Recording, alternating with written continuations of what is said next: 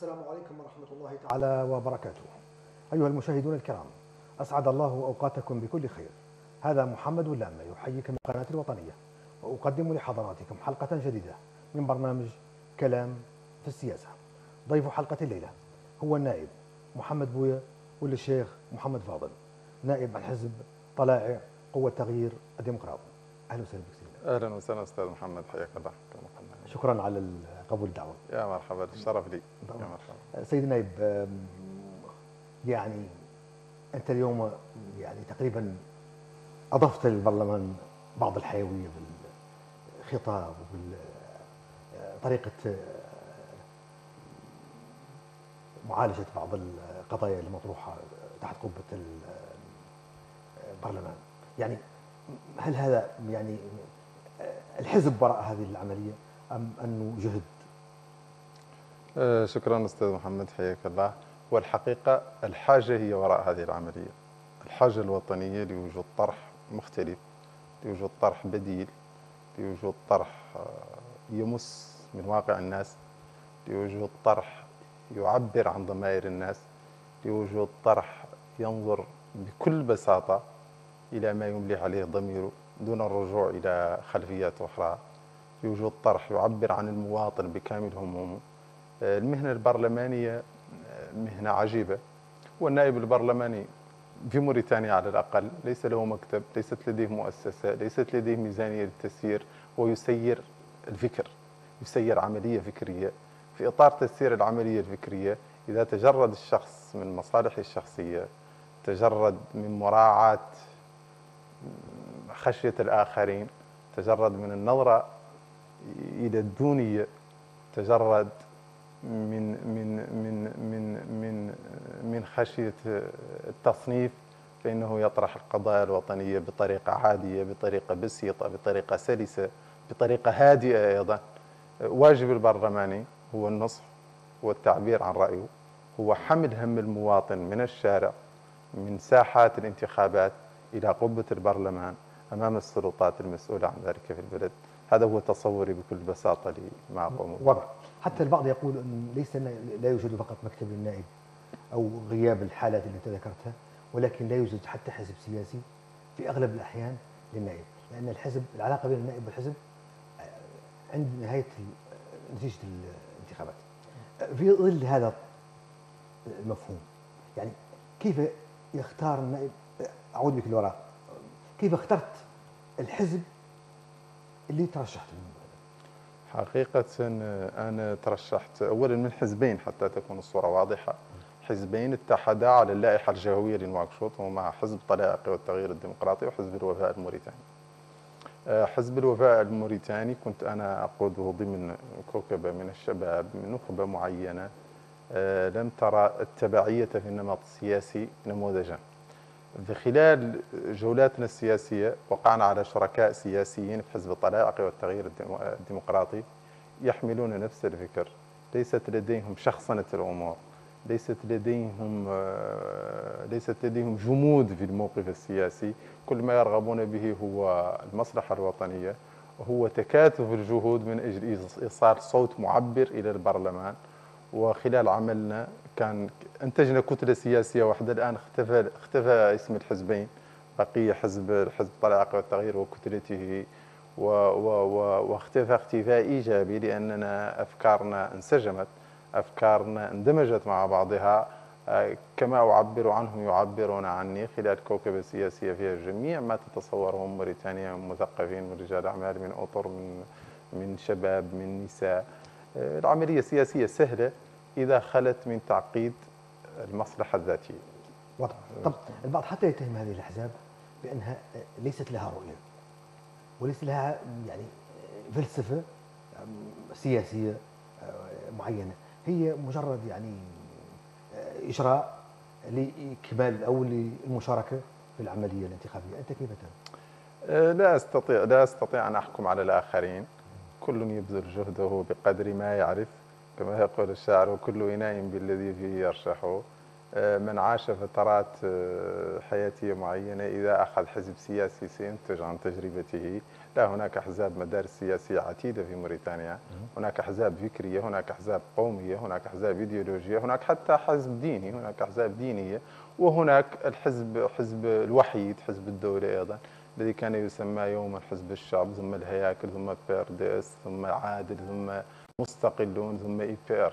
اذا العملية السياسية أيضا هناك أحزاب لا نغبطهم حقهم. هناك أحزاب أيضا موجودة مدارس آه، تتموقع تتلون حسب الطيف السياسي وهذا الذي أفسد طرحهم السياسي لأن المبدأ غالبا للأسف ليس ثابت ومع أنهم يبذلون جهدهم أقدر لهم ذلك أعتبر أنهم مجتهدون.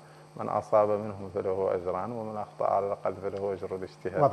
طب أنا نشرت إعلان بالبرنامج طبعا كالعادة.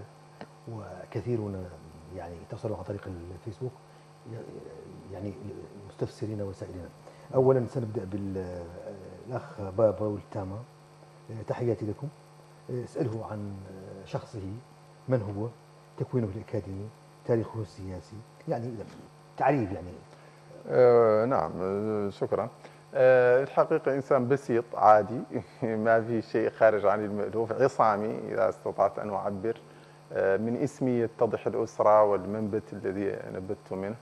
آه من تقريبا من موريتانيا ولد والدي في الحوض الشرقي ولدت أنا في العصابة.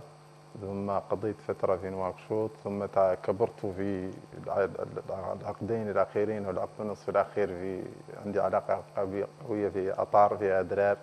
آه، إذا لي مدارك في موريتانيا كاملة. ما شاء الله عليك يعني. هذا من حيث من حيث الناحية الاجتماعية وأنا أيضا على كل هذه هي طبيعية طبيعية حياتي. من الناحية التعليمية درست الدراسة المحضرية كغيري من الموريتانيين من هذا الوسط الذي يتضح للناس.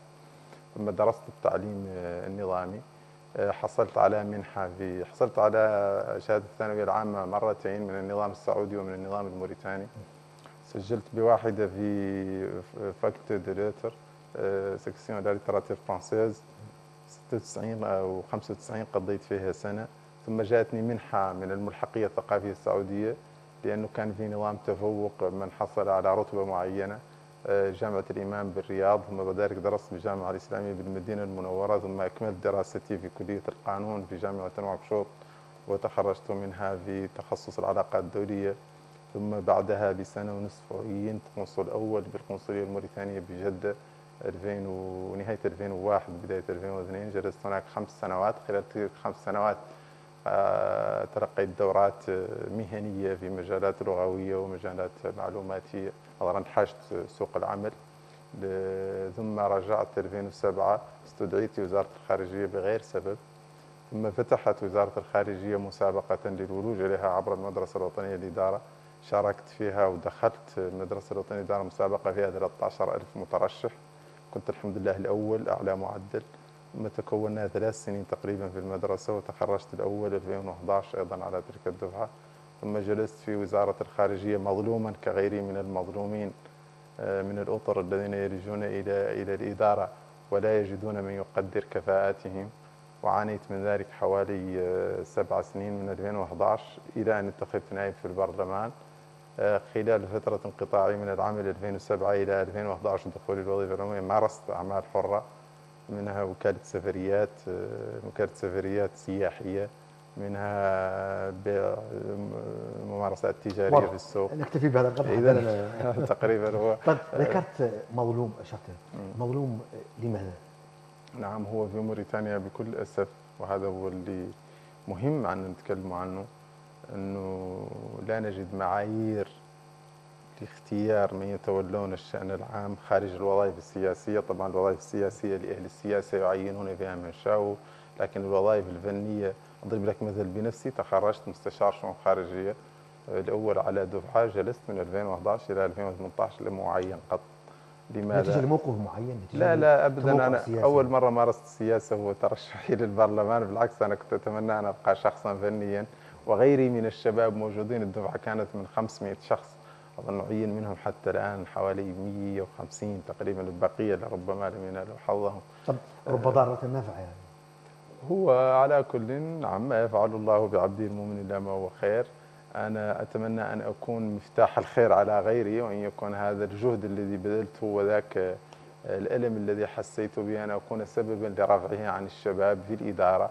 وعن رفعه عن الشباب في التشغيل للولوج الوظيفة العمومية وعن رفعه عن الشباب في التكوين وعن رفعه عن الشباب في العدالة في نشر العدالة في المجتمع. هذا هو دوري هذا هو اللي تعلمت الدرس الذي تعلمته من بقائي في الوظيفة العمومية في تلك الفترة أن الظلم يجب أن يكون له حد وأن ظلم الشباب في الولوج إلى العمل وفي التشغيل وفي الاستغلال وفي التكوين أمر حدث ولا حرج عنه بكل أسف. لكن هذا الظلم اللي تصفه سياسة يعني ممارسة بعمد أم أنه ناتج للروتين شخصيا ترجعون لماذا؟ لا استطيع أن أتهم الآخرين في نياتهم إلا أن ظاهر أفعالهم أن هناك ظلم. سواء كان مرده قال قال ضربتني سواء بالكوع أو بالكف المهم أن الضربة حصلت. ما دام الظلم منتشر سببه لا يهم تشرحه للناس إنما المهم العمل على قضائه. لا شك أن هناك ظلم في أوساط الشباب في تشغيلهم في استغلالهم لكن هناك جهة تحمل يجب ان نعم. تحمل الجهة ما هي الجهة؟ نعم الجهة دائما تحمل هي السلطة التنفيذية السلطة التنفيذية هي اللي عليها وضع معايير لاستغلال الناس ولتشغيلهم ولإتاحة الفرص المتساوية للشباب وحتى لا نقع فيما لا نريد إتاحة الفرصة في المسابقات شفافية المسابقات الآن لا تتصور أن مسابقة الصحة أجلت حوالي شهر بسبب اكتظاظ الناس حوالي 19 ألف كما قيل لي على 300 وظيفة. وأيضا وظيفة وظيفة عادية هي وظيفة وظيفة ممرض. بعد سيمر على تكوين ثم هل سيوظف أم لا الله أعلم. مسابقات المعلمين الآلاف عشرات الآلاف على 400 أو 500 موظف معلم. البلد يحتاج إلى نظرة لواقع الناس ونشر العدالة بينهم ونشر ثقافة ثقافة المساواة. وثقافة الشفافية وثقافة العدالة بين الناس حتى لا لأنه على كل للصبر حدود والشباب وطاقات الشباب وسهولة الاتصال هذا يطرح مسائل كبيرة في بلد. متعدد الإثنيات متعدد الأعراق متعدد اللغات متعدد يجب أن نؤسس لنظام عادل شفاف يحمي للناس حقوقهم ويضعهم على قدر المساواة في الخدمات العامة وفي الوظائف العامة وفي الأرزاق وفي الثروة إلى آخره. طب أنت بهذا الخطاب. يعني اللي قد يعتبر مثلا خطاب واضح وموجه للسلطة التنفيذية تقريبا أو تلميحا أو تصريحا. يعني أين تضع ما هو موقعك السياسي؟ أغلبية معارضة يعني؟ أه واضح. كنت أتمنى أه وقت وصولي للبرلمان وأنا واصل إليه أن أجد الخريطة السياسية العادية. يمين يسار ووسط لأجد لمكاني لنفسي مكانا في الوسط. لكن وجدت أن البرلمان الموريتاني فيه موقعين إما أن تكون معارضا وإما أن تكون مواليا. فناقشت مع الفرق السياسية اللي بدأت التكوين وجدت أن الفرق المعارضة آه، عندها مشاكل متراكمة.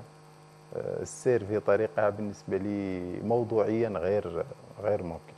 ما هي المشاكل؟ المشاكل هي مشاكل شخصنة الأمور ومشاكل اتباع آه، خنادق معينة لا يمكن الخروج المعارضة من أجل المعارضة لا تفيد الشعب.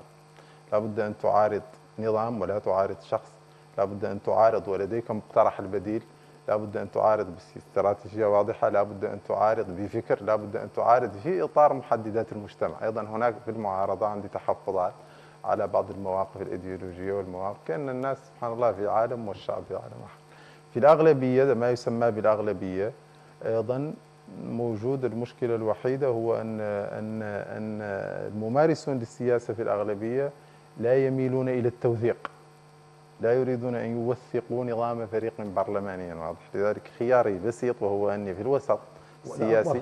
لكن اسمح لي لا يميلون إلى التوثيق. لو سمحت. توضيح عرضت على فرق الأغلبية في إطار النقاشات وثيقة مكتوبة للعمل البرلماني تؤدي إلى رفع قيمة البرلماني تحديد دوره النقاشات اللي يتم فيها. آه، الدورة البرلمانية من خمس سنين وضعت لها خارطة الطريق على طول خمس سنين. هذا عدد من النواب جمعنا حوالي سبعة ثم تطور الأمر إلى 27 بعد ذلك. نتفق على شيء مكتوب. رفضوا الوثيقة قالوا نعمل اتفاقات شفوية. مبنية على تقاسم بعض الوظائف والمصالح. الأمر لا يهمني شخصيا أن أكون نائبا لرئيس البرلمان أو رئيس لجنة أو مقرر أو عضو في إحدى برلمانات الخارج. هذا ليس من اهتمامي. أنا اهتمامي أن أضع المسألة الوطنية في هذا الوقت من حياتي أمام أمام الواقع وأن أمارسها. لذلك رفضوا هذا الجانب وقرروا تقاسم بعض الوظائف. لذلك خرجت أيضا من تلك التشكيلة وبقيت في خط الوسط الآن في البرلمان وهذا حدثت عنه الكثير. من ضمن مجموعه والله من ضمن أجلس في الجانب اليسار من من البرلمان لأنه ما في خيار اجلس في اليمين. تحفظاتي على الجانب اليمين أكثر من تحفظاتي على جانب اليسار فجلست مع جانب اليسار تعني طبعا اليسار. بالن... لا لا لا اليسار بالنسبة للجالس إذا اليمين بالمفهوم السياسي. إذا تحفظاتي على اليساريين الآن أكثر من تحفظاتي على اليمينيين في وضع البرلمان الموريتاني فلذلك أجلس مع جانب ما يسمى بالأغلبية. و... وأتناقش مع الجميع. المهمة الوحيدة التي قمنا بها موجود أيضا نائب ثاني معي في نفس الطرح والنائب الخليل الدنحوي آه، مشكورا أيضا لديه نفس الفكرة، إحنا نائبان موجودان في البرلمان لم نسجل في فريق من البرلماني موقفنا الوسط. نتج مجهوداتنا إنه على الأقل في الجلسه الماضية لقانون المالية لما انسحبت المعارضة نحن قمنا بالوساطة حتى أرجعنا المعارضه لأن لدينا ثقة عند المعارضة ولدينا اتصالات مع الأغلبية. فرجعت المعارضة إلى ال- إلى القاعة بسبب وساطة قمنا بها. آه، أنا من جانبي مع رئيس الجلسة والخليل النحوي وأنا وهو أيضا من جانبنا مع مع المجموعة، اذا مهم أن يكون هناك جسر واصل بين ال واضح. لكن أنت بهذا ال- الطرح يعني تعطي فكرة خطيرة عن البرلمان الموريتاني. وهي؟ فئه فئة يعني فئة مشغولة بشخصنة الأمور والأبعاد الإيديولوجية وفئة يعني تتخبط أو تعمل بطريقة غير منظمه وغير لا، وجهة نظري بسيطة. الا ما تعتقد أن هذا قد يكون فيه يعني ظلم أو لا ما أريد أن اذا في ظلم أسحب كلامي، ما قصدي به أن أظلم أحد، قصدي به أن أن أصف ما رأيته أمامي، رأيت هناك أحزاب معروفة تتبع لأشخاص متحكمين فيها يأمرون فيها يعطون فيها لديها إيديولوجياتها، لديه تحفظ على بعض الإيديولوجيات في المعارضة. لديه تحفظ على بعض الأحزاب في المعارضة التي لم تغير أشخاصها من نشأة من نشأت إلى الآن.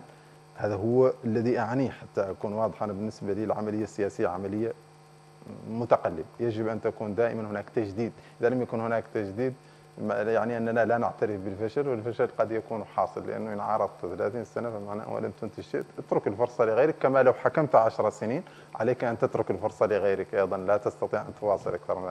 التناوب الديمقراطي كما هو مطلوب في الأغلبية وأصحاب السلطة مطلوب في المعارضة أيضا. هذه فكرتي حول الموضوع. أقدر أحزاب المعارضة وأحترمهم أعتبر لهم آه، مسيرتهم النضالية ومسيرتهم ومخلصون في عملهم لأنهم بالجانب ال- بالجانب الجاف من العملية الحياتية. لذلك أقدر لهم جهدهم واحترمهم لهم ولكن أتمنى عليهم التجديد الآن. الفكرة الموجودة من يحكم فرنسا الآن؟ حركة جديدة ليست من اليمين ولا من اليسار. من يحكم في الولايات المتحدة الأمريكية؟ رئيس لم يكن يوما حزبيا طرح أفكار. هاي العملية موجودة في اغلبها من يحكم اليونان من يحكم إسبانيا من يحكم الحركات التجديدية الشبابية ذات الطرح المباشر مع الناس ذات الطرح البسيط ذات الطرح الغير معقد. هي اللي تحكم العالم الآن والعالم أيضا متجه لها نتصور ان بعد 20 سنة إن شاء الله وأنا وأنت بعد طول العمر سنجد أن هناك تصنيف جديد لما نتحدث عنه الآن لأنه موجود منتشر في العالم مرتبط بالفيسبوك مرتبط بال social media مرتبط الان العملية. أصبحت أسهل مما كان تقليديا فلذلك ممارسة السياسة تقتضي التجديد وليس الجمود على صور نمطية كانت واضح. طب أنت بهذا المفهوم هل تعتقد أنه الأحزاب السياسية اليوم يعني تعاني من وجود قيادات يعني لم تفهم أن الوقت حان مثلا لتغييرها قيادات مهمة قيادات لها دور تاريخي كبير قيادات ناضلت قيادات قامت بكل شيء إلا أننا كمان نطالب بتحديد المأموريات في السلطة التنفيذية وفي الرئاسة وفي الأغلبية يجب أيضا أن يكون في المعارضة تناول تناوب على هذه الأحزاب وتجديد للطبقة السياسية فيها حتى. تنتج فكرا واضح. جديد لكن هؤلاء مثلا قد يكونوا صبروا على ما لا يمكن لغيرهم أن يصبر عليه. لهم الأجر إن شاء الله ولهم الأجر الأجر, الأجر. الحق على الاقل لهم الأجر لهم الأجر. فالعمليه السياسية مبنية على التجديد. أنا أجرب فكرتي إن نجحت مشى الوضع إلى ما تنجح وتيح الوقت لفكرة شخص آخر. أما أن أجمد نضيع الوقت نضيع الوقت. يجب تجديد في ال- في الأغلبية وفي الأحزاب الحاكمة كما يجب التجديد في الأحزاب المعارضة. الأصوات الآن اللي أحدثت في البرلمان هذه أصوات غير تقليدية ليست موجودين الاشخاص التقليديين في البرلمان ما أحدثوا ذلك الأثر. يؤدون نفس الأدوار النمطية التقليدية واضح طب أنت في البرلمان مثلا هل كنت تتوقع الأداء الموجود في البرلمان الحالي؟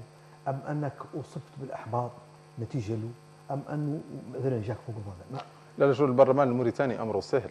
اولا يتكون عادي مما يتكونه برلمانات العالم. هناك رجال أعمال مهنتهم واضحة أنهم رجال أعمال. هناك مثقفون هناك موظفون سامون سابقون. هناك متقاعدون كانوا في الوظائف العليا.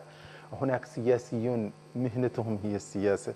هناك نساء نجحن لأنهن نساء يعملن في المجال النسوي. هناك وجهاء تقليديين. جميع الأشكال المجتمعية موجودة في البرلمان الموريتاني وكل يؤدي دوره بالطريقة اللي تعودها.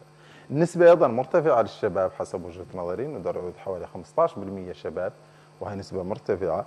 مثقفين موجودون. الوزراء اللي مروا على اللجنة المالية يجلس الوزير من العاشرة صباحا وأحيانا ما ينتهي النقاش إلا بالمساء. وزير المالية مثلا جلس مرة من الساعة العاشرة صباحا حتى الحادي عشر في الليل 13 ساعة من النقاش. هذا متواصلة. متواصلة. ما يستطيع أن يقوم إلا برلمان فيه كفاءات. البرلمان لا تنقصه الكفاءات.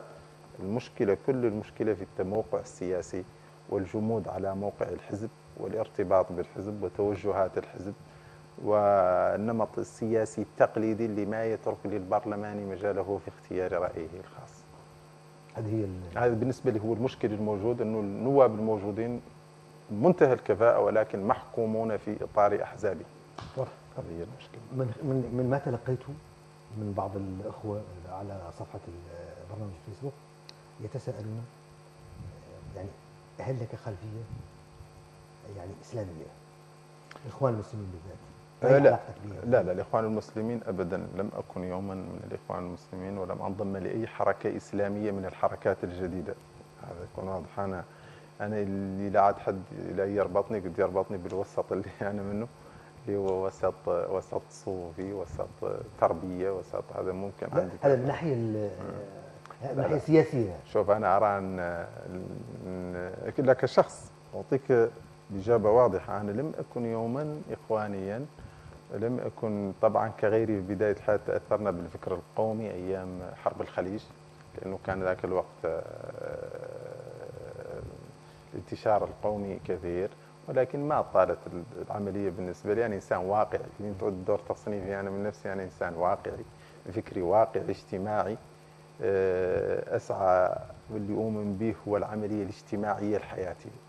أن الناس يجب أن تعيش متساوية اجتماعيا متساوية أمام العدالة متساوية أمام التعليم متساوية أمام الصحة متساوية أمام لكن امتاز عندي الحياة بأن الدين الإسلامي نظمها كاملة أنا ما عندي تصور أن أي باب من أبواب الحياة إلا ونظمه الدين الإسلامي لذلك التعامل فيه في إطار الإسلام الحضاري والإسلام المنفتح والإسلام المعتدل والإسلام الصحيح والإسلام المهذب والإسلام الراقي هذا هو المطلوب. بعيد عن الأفكار الإيديولوجيات والنمطيات و... لا لا. مداخلتك الأخيرة في البرلمان البعض يعني يطلب أنه إذا كان ممكن ممكن ما سمعوها ولا ما هي الحقيقة تعرضت القرصنة قرصنة برلمانية لأنه الغريب هي المقا... هي تقريبا المداخلة الوحيدة اللي اللي بعد أوقفت. ثانيا لا يخلق شوية غريب خلي يكمل. أوقفت. وأنا بعد قد نحاول إني نقراها لأنها موجودة عندي. ربما تفيد إذا سمحت لي يعني سامحني إني نقرأها إن شاء الله تعود معي طويلة. آه، المداخلة أولا سابق نقرأها لأن نقول إن هذه قضية بسيطة شنو الدور البرلماني؟ هو النصح. بس من حالة ينصح؟ وعن طريق إنارة الرأي العام وإنارة المعنيين بخطورة اللي واقعين فيه. وأنا بعد هون لياك تعرف فكري لا تسمعوا في هذه المداخلة.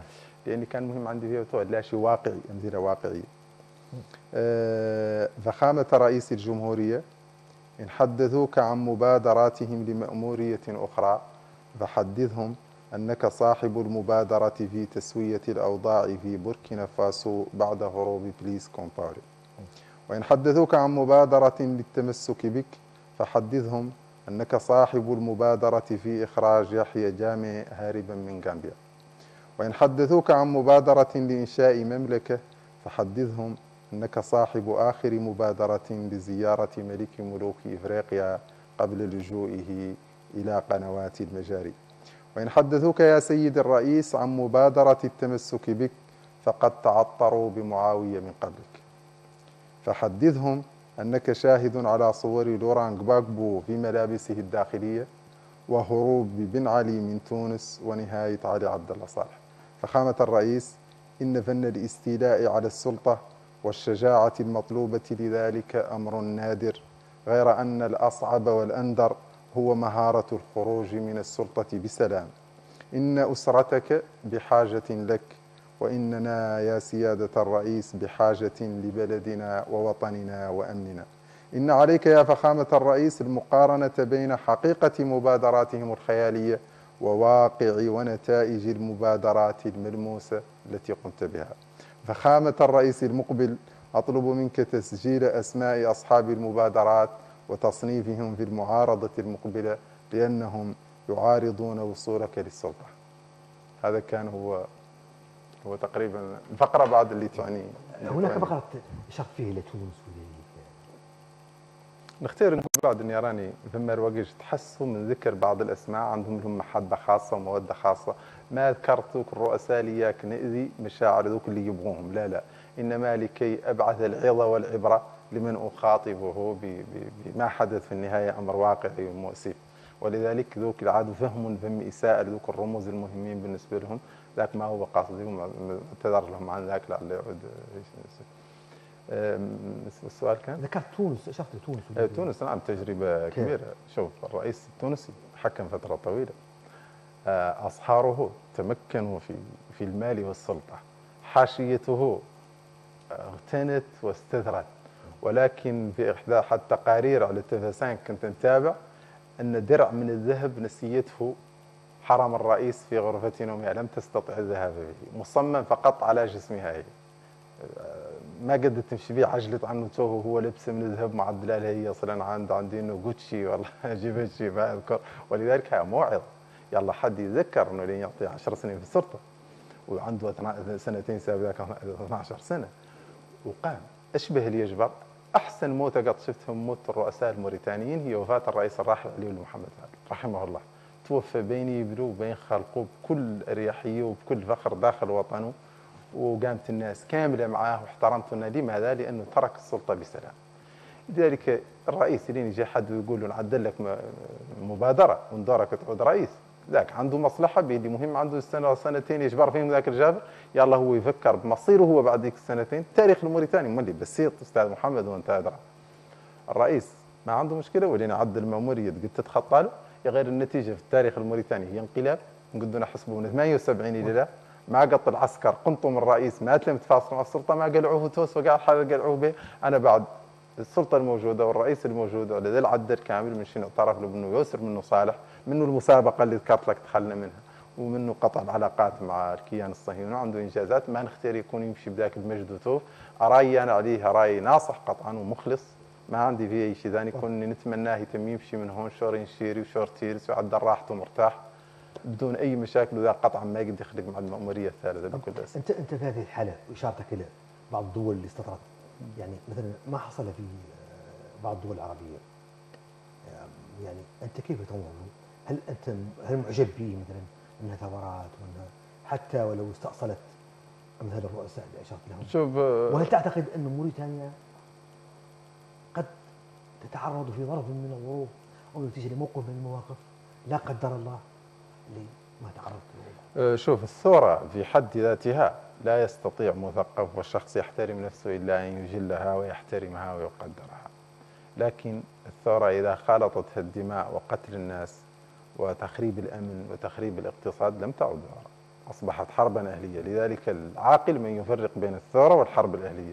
الثورة حدث يتم اجتماعي كل الناس متفق عليه وينهي العملية في 24 ساعة وثلاث أيام أو يومين وينتهي كما حدث في تونس. تونس حدثت فيها ثورة لأن أمنها مستتب وأمورها الاقتصادية بخير لكن ما حدث في الدول الأخرى أتحفظ على تسميته ثورة لأنه حرب أهلية والحرب ندعو الله أن يجنب لها بلادنا.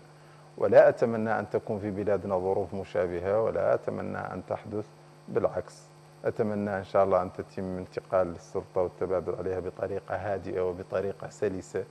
وهنا بعد أحيي العملية الديمقراطية. هو الرئيس المنصرف لا يحرم عليه القانون ولا الدستور أن يدعم شخصا مترشحا. ولذلك لو كان أهل المبادرات حذقاء لسموها مبادرات دعم خيارات رئيس الجمهورية وليست دعم مأموريات رئيس الجمهورية لأن الرئيس المنصرف يستطيع أن يدعم شخص آخر. وبالتالي من المصلحة للرئيس وللوطن وللدولة أن يدعم الرئيس المنصرف مرشحا ما يخلفه وإن نجح بدون تزوير فحسن وغالبا قاع في الدول العالم الثالثة لا منين تدعم السلطة حد ينجح وتعود العملية سلسة ولا يتأثر بها المواطن العادي وتعود أسلم وأشمل للأمن وللاقتصاد وللوطن وللمصلحة. آه، لا أتمنى آه، أنبه على الخلط بين الثورة والحرب الأهلية. الحروب الأهلية من سببها من قام بها؟ مجرم. والثورة عملية سهلة. أنت, أنت, أنت من خلال مداخلتك هذه وهي طبعا أشبه بالموعظة اللي قد تكون يعني تخفي شيئا ما. رئيس الجمهورية طبعا ذكر أنه لا ينوي الترشح لمأمورية ثالثة رغم المبادرات. أنت هل تثق في كلام رئيس الجمهورية؟ أم أنك تعتقد أن هناك بعض الظروف اللي قد تفرض تغيير أثق جدا في كلام الرجل. خاصة المقابلة الأخيرة مع أظن Le Monde أو مع أو RFI ما أذكر أثق أو في في كلامه واعتبرته سليم لكن أحكي لك قصة حكاها أحد الزائرين لمصر رجل كان مفيد من الناس المفيدين ربما ماليا وفكريا زار مصر. وفي اليوم الثالث لما مر من نفس الممر سلموا عليه كلهم هكذا. نعم تفضل يا سيدي. قال لذلك قال فرعون أنا ربكم الأعلى. المشكلة أن الرئيس والزعيم إذا كثر عليه المقترحات الإيجابية فيما يهوى لربما يضعف يقينه بالعملية الديمقراطية ولكن ذاك على حساب المصير.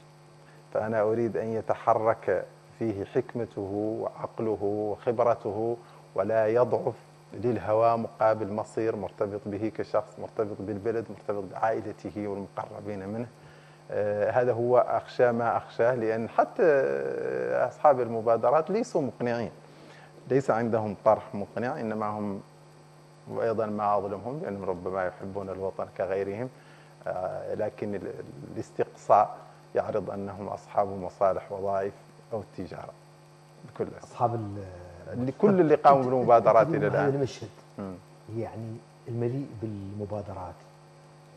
يعني هو لم يمتلئ بعد ما امتلأ يعني, يعني وحنا مقبلون على مبادرات أكثر. أنت كيف تقرأ؟ تعتقد أن الناس تحركوا من تلقاء نفسهم أم أن هناك مراكز قوة تحركهم يعني كيف هم تحركوا من تلقاء أنفسهم حسب ظني لأنه لو كان التحرك من جهة أخرى لكان الزخم لأن الإشاعات كثيرة. كان الزخم أكبر. لا هو الإشاعات شوف هو بكل أسف نحن في نتكلم عن المجال السياسي حتى لا يحرف أحد كلامي ولذلك أستطيع استخدم أوصاف خارجه عن المألوف العادي. التملق السياسي منتشر على حساب ما كنا نقول قبل الساعة على حساب الكفاءات. أنت كصاحب كفاءة لو كنت متملقا سياسيا لربما كنت اليوم وزيرا للاعلام أو رئيسا لخلية الاعلام لكن كصاحب كفاءة إعلامية مهنية محترم تبقى صحفيا محترما مهما. ولذلك ارتفاع نسبة التملق السياسي هو الذي ينتج مثل هذه المبادرات. شنو المطلوب من المجتمع؟ العزوف عن هذه المبادرات. المجتمع يجب أنا أنا أنا أنا ندور لين يدعي واحد المبادرة بس بجهة. اولا ياسر المخالفات القانونية. شوف هو لين يعود عضو في الحكومة مغلظ عليه القانون العقوبة بلا شغل الشاق ولين يعود إنسان عادي خارق الدستور. ولين يعود مثلا آه، عملية عجيبة وغريبة. آه، أنت عمل سياسي وموجود ولك وزنك. يلا تراهن على الوطن اولا وعلى البلد وخذ العملية السياسية والتجربة السياسية. وشارك فيها وأنتم هم قاعد ما شاء الله ما غالبهم أصلا المشي مع الانظمه هم كانوا مع ذاك النظام ومع ذاك السابق يعودوا مع هذا النظام اللي يجي غير يخلوا البلد يمر بالسلام من الناحية العادية. هذا بعد حسب وجهة نظري. واضح. طب آه، سيد نايف آه، أحد الإخوة يعني آه، له طلب يعني لكم؟ طبعا عبر الفيسبوك الله يسر نقول لك نقول لك الله يسر قول قول قول. شيخنا محمد فال طالبوا باسمي بالاعتذار علنا لعائلة الشهيد القذافي ولمحبيه ولكل المسلمين عن نعته له بأوصاف كاذبة هذا بعبارته وغير لائقة. ثبتها إعلام الفتنة في عقول المستلبين الاعتذار أولا وإلا فلا متابعة له.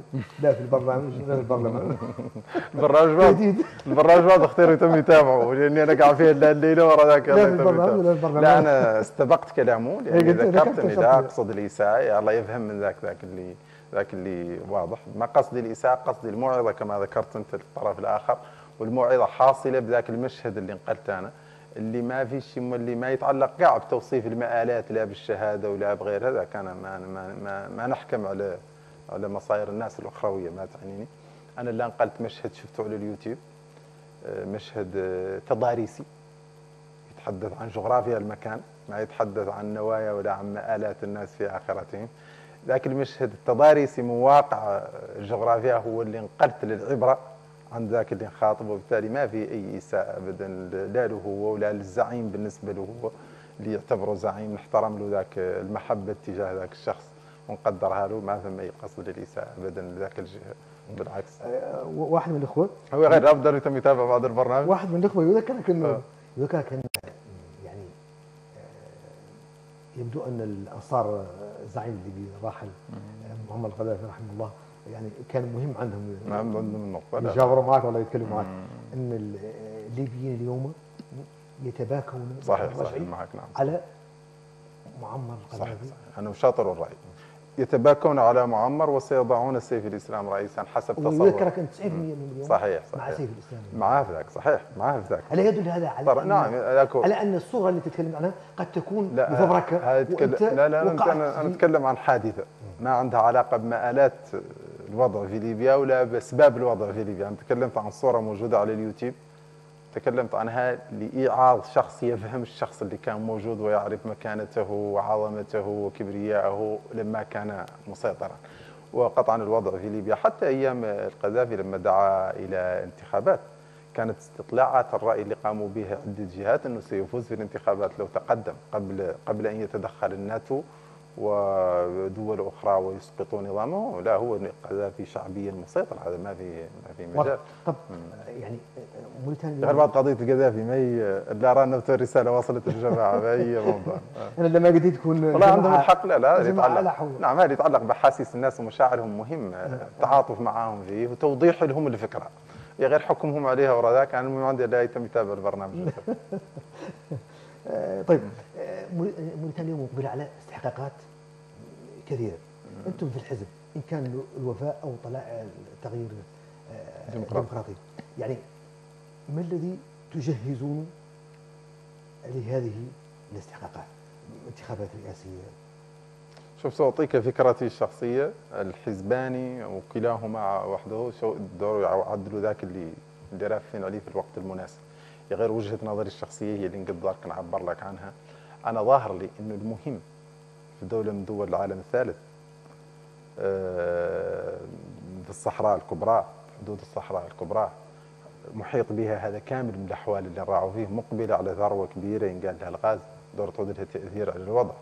أهم شيء يمكن يطالب به إنسان عاقل هو الأمن والإستقرار والأمن.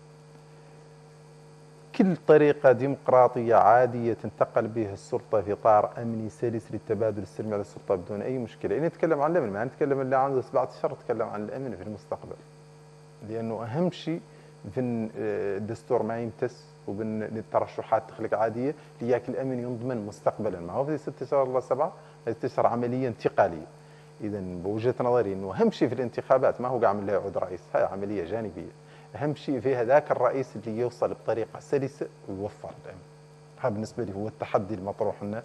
كي قلت لك في المحيط اللي فيه الحركات المتطرفة الإرهابية واللي خلق في المغرب قبل يوم قبل ثلاث أيام أو أربعة التطرف خطير والفكر الإرهابي خطير والمجتمع يحتاج الكثير من الإسناد والدولة تحتاج الكثير من الوقت لتبقى كما هي. أهم عامل تقد الدولة والمجتمع يبقى فيه بأمان وها هو المطلوب الاستمرار والاستقرار والتغيير السلمي والتناوب السلمي على السلطة من لا هي ذاك التغيير ومن لا يفرض هذا التناوب ما يأثر على حياتي ولا على حياتك ولا على حياة المواطنين يأثر في معطيات محدودة جدا ذيك المعطيات ما تمس واقع المواطنين ولا هي أولوية من اللي راهي بالنسبة للإنسان العاقل. اذا المهم إنه يتم الأمن موجود والتناوب على السلطة يتم بسلاسة وتعود الناس كاملة راضية به ومقتنعه به الغالب والمغلوب. ها هو ولا يعود في مطعن ها هو هو اللي يضمن للدولة وللمجتمع البقاء بطريقة عادية ضد هذه التجاذبات كاملة الموجودة. واضح اليوم مثلا أنت ذكرت أنك تعتبر نفسك في منطقة وسط داخل البرلمان. أنت والاستاذ الخليل. لكن في الجهتين الثانية ليمينكم وشمالكم يعني هناك طرحين. هناك طرح. كما ذكرت انت يرى الأمور كلها سوداء الفساد والمحسوبيه والى ما هنالك من الأوصاف. وطرح لا يرى إلا الإنجازات والمعجزات وأنتم ك أنت ك وصفت نفسك بانك مريد وسط. يعني هل موريتانيا اليوم أقرب إلى دولة الفساد والمحسوبية أم إلى دولة الانجازات وتحقيق المعجزات في الاقتصاد؟ شوف قالوا قالوا خارج ملك قالوا فيصل قطعت السعودية. شكاولوا من آه، عمدة بلدية دشرة كبيرة في السعودية؟ إنه وكال. قال لهم حاس به غير شغال. في العالم. ما يلا حد أنا ما نقدر نحكم على بيني ما عندي الإحصاءات. غير شوف نظرتي للوضع ذي. هناك أشياء تم تحقيقها لاول مرة في تاريخ موريتانيا في مجال البنى التحتيه غير قال لهم وكال. قلت لك إن الملك فيصل الله يرحمه قد حكى لي حد أنا عايد قد سكنت في السعوديه فتره طويلة. أنا بس فقط لا قال إنه شكاله حد من عمدة من عمدة بلدية كبيرة في السعودية. وقال له فلان ها هو لك. وكال قال له غير شغال. هذا بعد يحكوها الناس العادية في, في, في ولذلك بالفعل هون تم بعض الإنجازات. غير أنا ركزت على جانبين هو العقد الأخير. تنفيه زيادة مهولة وعجيبة في إيرادات الدولة. وبالتالي ارتفعت الميزانية حوالي 100% كان الضرائب يجيبوا مبلغ ضاعف مرتين ولا كانت الجمارك تجيب مبلغ ضاعف اذا هم في جانب الإيرادات وتحصيل موارد الدولة آه، عدلوا مجهودات جبارة. لكن المشكلة فاش؟ في مجال الشفافية في إبرام العقود. لا نعطيك مثال. أنا كدبلوماسي سابق وكإنسان مهتم في السياسة نهار نزقنا في موريتانيت نزور زين عندي قصر المؤتمرات لأنه معلمة كبيرة. ولكني أشعر بالضيم داخلي لأن الطريقة التي تم إنشاؤه بها مدركا أنها ما فيها معايير شفافية. إلين نسافر نجي المطار نواكشوط جديد. زين عندي ما فيها معايير شفافية؟ فسرها نعم نفسرها لك.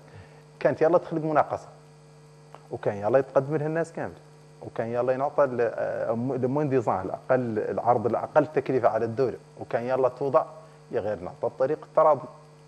تراضي يدري قال القري أقري.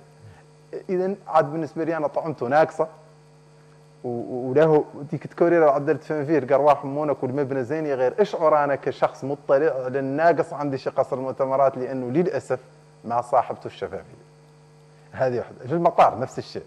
في صفقة الميناء نفس الشيء. هاي الصفقة معدلة في إطار قانوني. راهو البي بي بي هذا الشراكة القطاع العام والقطاع الخاص يتيح مثل هذه الصفقات. ولكن يجب أن تتم بالطريقة اللي فيها هو قاعد صدرنا عندنا مناقصه إحنا رانا ميناءنا عارضينه. وتقد تعقب نفس الشركة تفوز به. وتجبرها 30 سنة وتعود ما فيها مغمز ولا فيها مطعم. المشكلة المتاحة في هذه الفترة ملاحظتي الوحيدة على هذه الفترة هو عدم الشفافية في ابرام العقود. ليكن عبرت لك عن رأيي. عدم عدم الشفافيه نهنئهم على مستوى نهنئهم اولا على مستوى التحصيل لأنه الخزينة عاد يدخلها ياسر من المال. غير اللي في الجانب الثاني العقود فيها ياسر من قلت الشفافيه حسب وجهة نظري. وراني بدي عود قال لي شي من المعلومات. غير اللي نضرب من الأمثلة بعد ظهر لي إنه سهل ما في شيء ما في شيء كبير. مستوى التحصيل هل يناسب مستوى التدبير؟ أه، التدبير لا يدركه إلا المسير. لأنه ما هو داير الناس الاخرين قاعد في ظروف يطلعوا لي. شيء ما نعرفه ما نقد ما نقد la boîte fermée غرفة العمليات مغلقة. أنا وأنت ما عندنا عليها l'accès donc ما نقدروا نحكموا عليها. غير توف وزير المالية 13 ساعة معكم. إيه ما قال لكم؟ وزير المالية عندنا معاه اختلافات اختلافات في الاستدلال.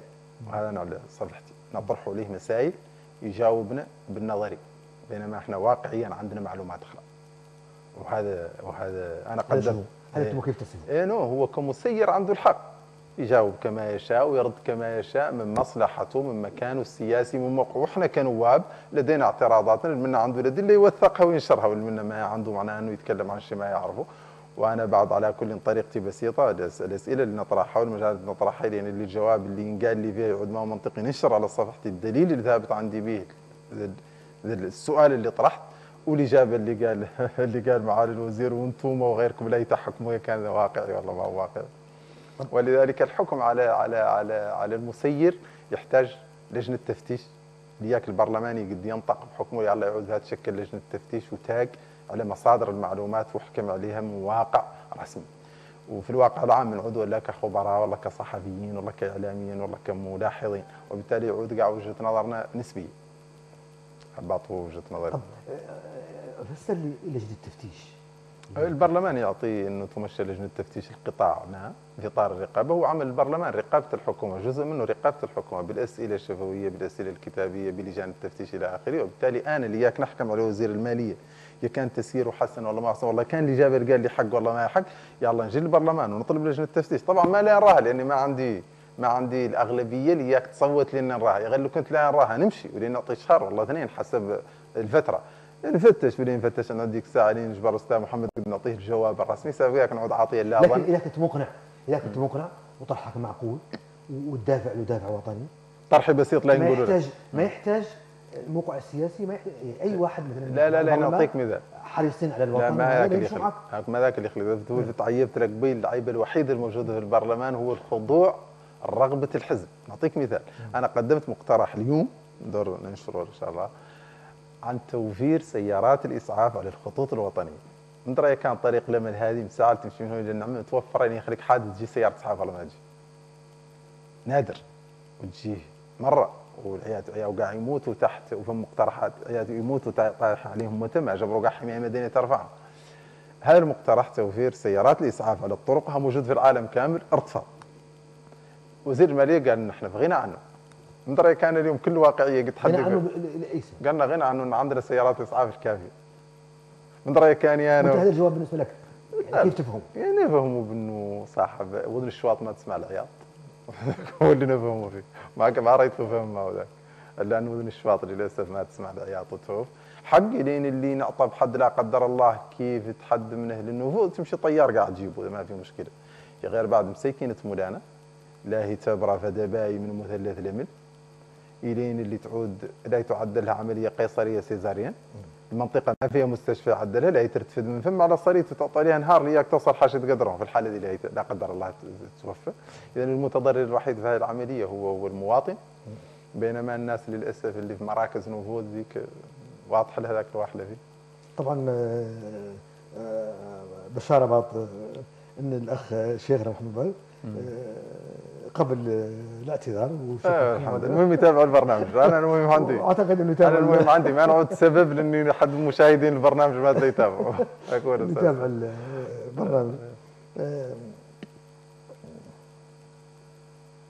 طيب آه، بالنسبة للمواضيع اللي أنت آه، تكلمت عنها فيما يخص آه، تو- توفير أن يحصل البرلماني على معلومات بشأن الملف اللي يبغى يتكلم هذا الحجب هذا الحجب تعتقد أنه جزء من المنظومه اللي ذكرتها عدم الشفافية وهذا أم أنه يعني نتيجة لروتين حكومي؟ لا لا جزء من عدم الشفافية. إخفاء المعلومة جزء من عدم الشفافية بكل وضوح سواء عني كنائب عندي صفة رسمية سواء عنك كإعلامي تدير هذا البرنامج. هو ما فيه ما فيه دخان من غير نار كما يقال. ما دام فمشي مخيوف على الاطلاع عليه معناها أن فمشي ما يلا تعرفوا الناس كان هي الشفافية فائدتها إني أنا transparent اللي واحد فيه كاع ماني مدرقوا به اللي بان تاج عليه ما في مشكلة. كل حد جاني لين نطلعوا عليه. ما دام فما معلومات ما نقدروا نطلعوا عليها معناها أن المحتوى اللي ورا ذاك ما نقدروا نتكلموا عنه بين المات نطلع عليه يلا نعودوا موضوعيين نصبروا لين نطلعوا عليه. يا غير معناها أن ذاك اللي وراها بعد قطعا في شيء ما هو شفاف لو كان شفاف نطلعوا عليه ما في مشكلة. واضح. طب آه، رئيس الجمهورية القادم يعني إذا طلبت منك أوصافه أو كيف ما الذي موصل يحتاجه موريتاني. بالنسبة لك الاستحقاق القادم كرئيس الجمهورية آه، موريتانيا آه، وجهة نظري الدور تعود واضحة في هذه القضية. إحنا نحتاج شخص يمكن عليه الاتفاق معناها بعد هذا من الاحتقانات المتكررة بالعقدين الأخيرين نحتاج أن نخرج بشخص محل اتفاق معناها في قاسم مشترك بينه هو وأكثر وأكثر آه، نخبة سياسية. يعود كل حد يجبر عنده نسبة 10% ولا 5% من ذاته ذاك ذاك الرئيس. هذه أولا. إذا يعود قد يمكن الاتفاق على نسبة كبيرة من من من شخص. اتفاق جميع الأطراف ولا اتفاق أغلب طيف. معين؟ أغلب الأطراف أغلب الأطراف أغلب الأطراف. حتى إن هذا الشخص بهذه المواصفات قد. يكون حتى قاع موجود. نعم موجود. شو. موريتان موريتان لا عديمة أبنائها. موجودين إذا يخلق طرح. أنا عيني عليه راهو لين يفوت عود رئيس ما هو اللي اعطى مرشح اللي اعطى مرشح نقدروا نختلفوا عليه. يا غير عيني على المرشحين الأوفر حظ يا الله ما ترشح جهه سياسية ما هو شخصي لا عاد رئيس يقد الناس تتفق عليه لياك الحياة ترجع لهدوءها. هو يا درك أنا كذاك واضح. لك واضح. الفرق بين زمن ومرشح نقدروا نختلفوا عليه يا غير أنا كطرف سياسي اللي أنت نرشح حد لا نرشح حد لا لا إلى اعطى ولا ننجح نعود ما يعود يقد يسكت عليه. صالح عليه الاتفاق. أي واحدة الثانية يعود يقد يوفر الأمن في ذا البلد. رئيس ما يقد يوفر الأمن. ما يقد يعود رئيس في الفترة القادمة في دولة كيف موريتانيا. يوفر له من ذيك معناها تجربته الحياتية تقتضي بانه بأنه إنسان قادر على يوفر الامن ما هو ما, ما هو ما هو جديد على المعترك الحياتي آه، العادي. وذيك بعد يوفر له من راني ما قصدي بيه فئة معينة. يا غير قد يعود كان موظف الامم المتحده مدرك لعمليات الأمن في العالم وقد يعود كان خبير مصرفي مثلا كان المنظومة الدولية المالية مدركة يعود كان في اليونسكو عملوا مثلا في مستوى- حياتي تجريبي يلا يعود فيه الإنسان ما يعود إنسان بسيط قاضين وتولياك نملوا به الورق. الثالثة الأساسية إنه الأطراف السياسية اللي تعود تبغي تنجح يلا تقبض شخص يعود آه، ما هو معروف بأنه عنده اهتمامات مالية.